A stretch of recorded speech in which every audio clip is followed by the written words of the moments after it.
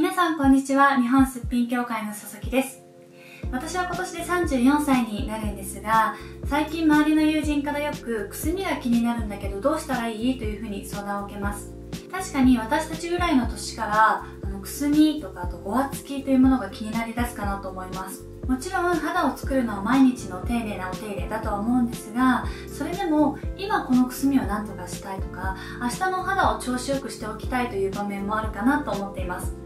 そこで今回は今のお肌そして明日のお肌をきれいにするための即効性のあるスキンケアコスメを2つとあとサプリメントを1つご紹介したいと思います。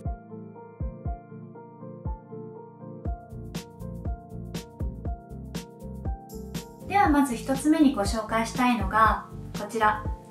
ドモホルンリンクル泡の集中パックです。これもう本当に何本使ったかわからないぐらい大好きなアイテムで常に切らさずに家に1本は置いています。これの魅力は悩みが出やすいこの目元とか口元にも使えるというところです。結構そのパックとかだと目元や口元は避けてお使いくださいっていうものが多いかなと思うんですけどこれは目元にもしっかり使えるので私は朝起きてあの目の下のクマがひどいなっていう時によく使っています。あとあのお肌がごわついてちょっと硬くなってるなっていう感じる時にもよく使っています。先ほどあのすでに使ってビフォーアフターを撮ったのであのこちらを見ていただきたいんですが見ていただくとあの目の下のクマが若干薄くなっていてお肌全体がワントーン明るくなっているのが分かっていただけるかなと思います。これライトとか同じ条件で撮っているのであの実際に5分置いて洗い流した後のお肌の違いです。こちら本当にあのすっごい濃密な泡が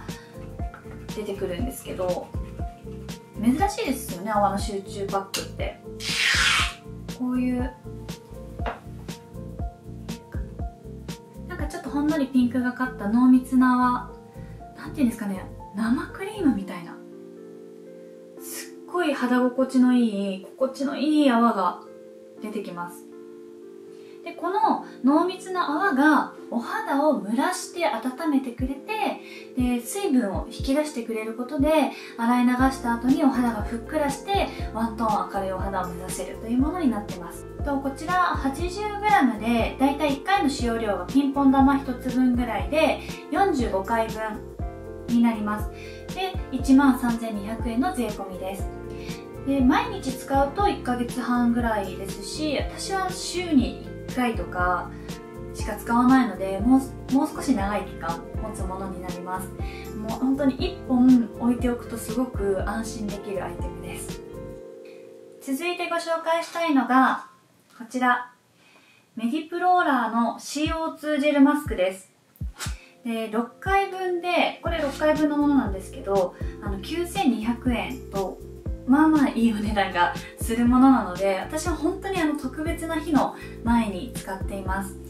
本来の正しい使い方としてはあのまずは6日間。これ6回分なので6日分なんですけど集中ケアでターンオーバーを整えてその後からはあの週に1回から3回と自分の好きなペースであの使っていただくようなものになっています。でこれちょっと面白いのがた割とこういう形式のもの多いかなとも思うんですけど、えっと、この1剤のジェルにこっちの2剤のパウダーをこう合わせてかき混ぜてあの顔に塗布するというものになります。とこんな感じでこの黄色っぽいのが1剤のジェルで2剤がこのパウダー状のものになります。でこれをこうやって混ぜて使います。こんな感じで1剤と2剤を混ぜたものをこうお肌に塗布していきます。でこれも先ほどあの20分間置いたものでビフォーアフターを撮ったので見ていただければと思います。まあなんか高いだけあるなというぐらいお肌のトーンが上がったのが分かっていただけるかなと思います、えっと、こちらの商品も、えっと、目周りや口周りにも使っていただけるものになるのであの気になるところにしっかりアプローチできるアイテムになっています。以前のニキビケアの動画でお話ししたんですがあのこの炭酸パック実は回そのくすみケアとしてご紹介させてもらっているんですがあのニキビケアにもすごくいいアイテムになっていてニキビケアってお肌の内側の巡りを良くするということがすごく大事になるんですがそういう意味でもこれはあのお肌のサイクルを整えてくれるものになるのでおすすめのものになっています。なので、えっと、くすみとかニキビが気になる方にあの短期集中でケアを行っていただければと思います。最後にご紹介したいのがこちら。リボカプセルビタミン C です。で私も結構サプリいくつか飲んではいるんですけど正直あの効果がこれ効いてるのかなって思うものもやっぱりいくつかあったりはするんですが以前 iHerb でリプライセルを買って飲んだ時に本当にあの次の日のお肌がスルンとして1日でお肌って変わるんだみたいなのを初めて体験したのがあのリプライセルだったんですが飲んだことある方でしたらわかると思うんですけどあの味がどうしてもダメでなんか効果があるのは分かってるんですけど続けるっていうことができなかったんですよね。そんな時に出会ったのがこちらのリポカプセルビタミン C ででこちらはあのビタミン C を体が取り入れやすい形にしてくれているものになっていてリプライセルと同じような味かなと思って試してみたんですけどリプライセルって結構あのジェルっぽいというかドロッとした塊のようなものだったと思うんですけどこちらは液状になってます。であのお水とかに溶かして飲むタイプになるんですがあのリプライセルよりも全然味に癖がなくてこれなら続けられるなと思って私はこっちを最近飲むようにしてます。